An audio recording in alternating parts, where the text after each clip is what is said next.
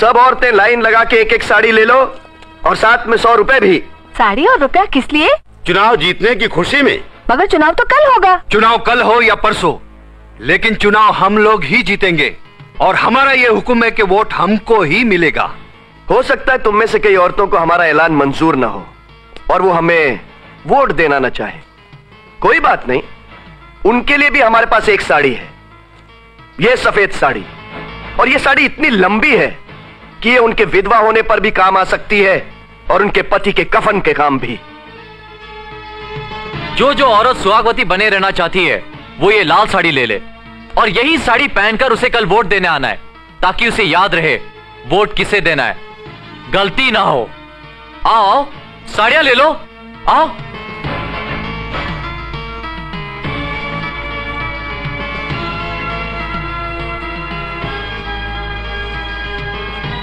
क्यों? साड़ी नहीं लेगी? ये आपके सौ रुपए। सुहागन बनने से पहले ही विधवा बना देंगे। चुपचाप साड़ी ले ले और कल जाके वोट दे देना समझी? वरना उस को तो हम मार ही देंगे और साथ में तेरे मामा को भी ज़िंदा गाड़ देंगे। हाँ, अरे तू हँसी क्यों? साड़ी का रंग तो खतरे का रंग है लाल रंग। खतरे से बचना कल चुनाव है।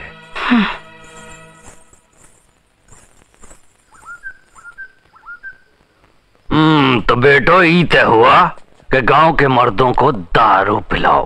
खूब दारू पिलाओ। इतना दारू पिलाओ कि उनको सुबह ऊट डालने का होश न रहे। मर्दों का जितना कम वोट डलेगा उतना हमको फ़ायदा है क्योंकि औरतों का वोट तो हमको मिलेगा ही। पिताजी मैंने बसंती को भी नाचने के लिए बुला लिया है। अरे तो बहुत अच्छा किया है। नचाओ उसको। रात भर नचाओ। चौधरी साहब जिंदाबाद चौधरी साहब। सब चौधरी साहब को वोट दे। लेना सारी औरतों ने हमारी साड़ी पहन रखी है। देखा इन सारे मर्दों ने हमारी शराब पी रखी। हाँ, चौधरी साहब चौधरी साहब। यार गाँव की सभी औरतों ने चौधरी साड़ियाँ पहन रखी हैं। यार मुझे उम्मीद नहीं है कि क्रांति साहब को वोट मिलेगा। लगता है इस बार भी चौधरी ही जीतेगा। भगवान, इस गाँव को बचा।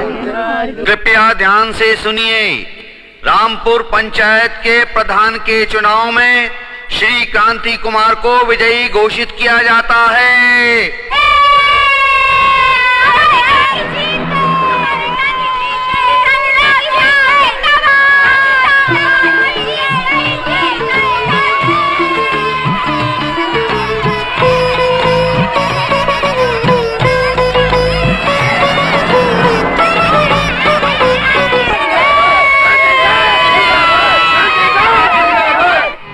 दारू हमरा पिया और वोट उसको डाला।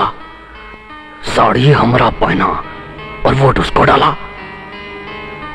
एक दिन का वोटिंग ने एक दिन का वोटिंग ने हमरा पैंतीस साल का राज को हिला दिया। पिताजी साड़ी देने का प्लान आप ही ने बनाया था। दारू पिलवाने का प्रोग्राम भी आप ही का था। वरना हम तो हमेशा की तरह बूथ पर कब्जा करके सारे के सारे वोट खुद ही डाल देते और उनके भी जो मर चुके हैं। सारी रात ही गाँव वाले खुशी मनाते रहे। ये खुशी। उनकी जीत की खुशी नहीं थी, बेटा। ये खुशी हमारी हार की खुशी थी। उस दूसरे कुत्ते हमारी हार का जश्न मनाते रहे, बेटा। उनकी खुशी को हम गम में बदल देंगे। उन्होंने रात खुशी में मनाई है। अब दिन गम में बिताएँगे। जाओ जाओ। यहाँ खड़ा रह के हमको झूठा तसली मत दो। अपना साड़ी सबके बदन से उतारो। नंगा कर दो सबको, नंगा। जाओ बेटा जाओ जाओ जाओ।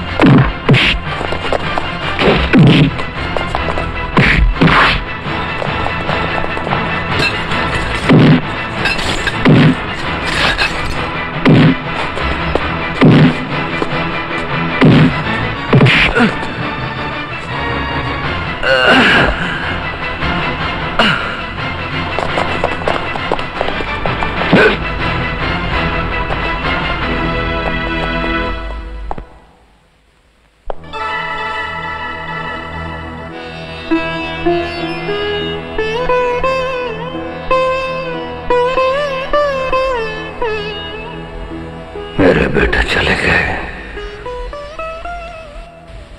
दोनों के दोनों एक साथ। दुनिया बहुत खराब है भैया। हम सोचता था, हमारी अर्थी को काना देने के लिए चार चार बेटे मौजूद हैं। हमारे कांधे पे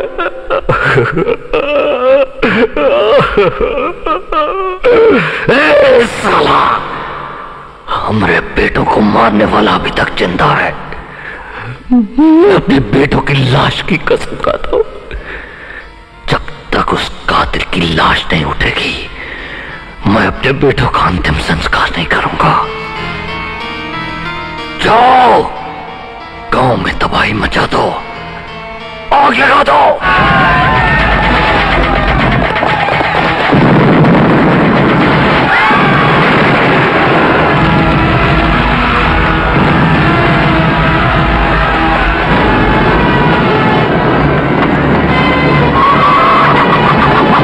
रामपुर में आतंकवादियों ने जिस तरह इंसानों का खून पानी की तरह गंदी नालियों में बहाया है उसके बारे में तो आप सब लोगों को पता ही होगा। यस सर इससे बड़े दुख की बात और क्या हो सकती है सर? कि इंसान इंसानियत छोड़कर शैतान बन चुका है। इन शैतानों को खत्म करने के लिए ही देश को पुलिस डिपार्टमेंट की ज़रूरत है। इस कहानी को शुरू आतंकवादियों ने किया है लेकिन इसे अंजाम हमारा पुलिस डिपार्टमेंट देगा। एसपी कुलभूषण। Yes sir. तुम्हें आज ही रामपुर जाना होगा। Right sir. कुलभूषण का अर्थ होता है कुल का भूषण। हमारे लिए ये हमारा डिपार्टमेंट ही हमारा कुल है और मेरी नज़र में तुम इसके भूषण हो। तुम्हारे बेटे का नाम भी आतंकवादियों से जुड़ा है। अब हमारे डिपार्टमेंट की इज़्ज़त रखना तुम्हारे हाथ में है। सर जिस दिन मैंने पुलिस डिपार्टमेंट ज्वाइन किया था मैंने सबसे पहले रिश्तों और जज्बातों की आहुति दी थी। I feel proud of you